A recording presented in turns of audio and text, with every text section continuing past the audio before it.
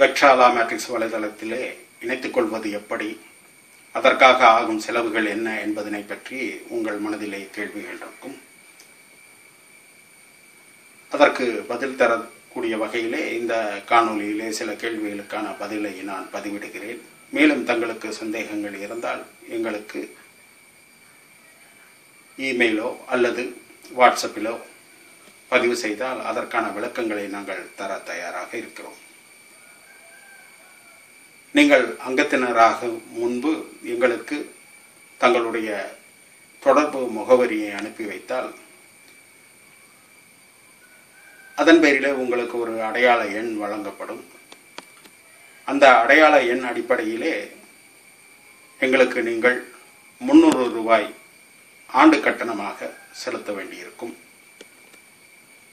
இது ஒரு தொடர் கட்டணமாக நாங்கள் உருவாக்கவில்லை. அதாவது இந்த வருடம் நீங்கள் கெட்ட இருக்கீங்க. அடுத்த வருஷம் நமக்கு தேவையில்லை. நம்முடைய கடன் பிரச்சனைகள் தீர்ந்து விட்டது என்ற வகையிலே நீங்கள் அடுத்த வருடம் கட்ட வேண்டிய அவசியம் கிடையாது. இல்லை தொடர்ச்சியாக நாம் இருக்க வேண்டும் என்ற கட்டாயம் இருக்கும்போது அடுத்த வருடம் கட்டியா போதுமானது.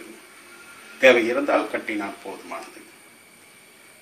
அதன் பிறகு தங்களுடைய சந்தேகங்களை நீங்கள் பதிவிட்டு கடன் கணக்கிலோ அல்லது ஒரு வங்கி கணக்கிலேயோ பிரச்சனை இருந்தால் அந்த தீர்விலே தங்களுக்கு கிடைக்கக்கூடிய நிவர்த்தி தொகை ஆயிரம் ரூபாய்க்கு கீழ் இருந்தால் அதற்கு குறைவாக இருந்தால் எங்களது கட்டணம் ஏதும் அதற்கு கிடையாது. அந்த தொகைக்கு மேற்பட்டு செல்லும்போது பத்து சதமானம் அதாவது சதவிகிதம். ஒரு பத்தாயிரம் ரூபாய்க்கு இருக்குன்னா ஆயிரம் ரூபாய் எங்களுக்கு கட்டணமாக கொடுக்க வேண்டிய அவசியம் இருக்கும். இன்னும் பணம் அதிகரிக்கும் போது எங்களுடைய சேவை கட்டணத்தின் சதவிகிதத்தை நாங்கள் குறைத்து கொண்டே வருவோம்.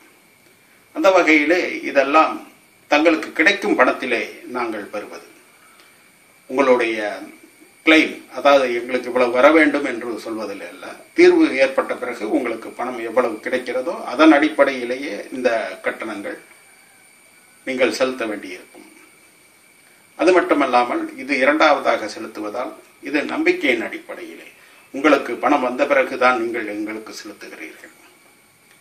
உங்களுடைய தீர்வு கிடைத்தால் அதை எங்களுக்கு தெரிவிக்கும் போது அதன் வாயிலாக பல நபர்களுக்கு அதன் வாயிலாக தீர்வு கிடைக்கும். ஆகவே இது ஒரு பொதுநல எண்ணங்கள். ஆனஸ்டி நியாய உணர்வுகளின் அடிப்படையிலே உருவாக்கி செயல்படக்கூடிய ஒரு வலைதளமாக இருக்கிறது. நாங்கள் என்றும் உங்களுக்கு உண்மையாக இருப்போம் அதே வகையிலே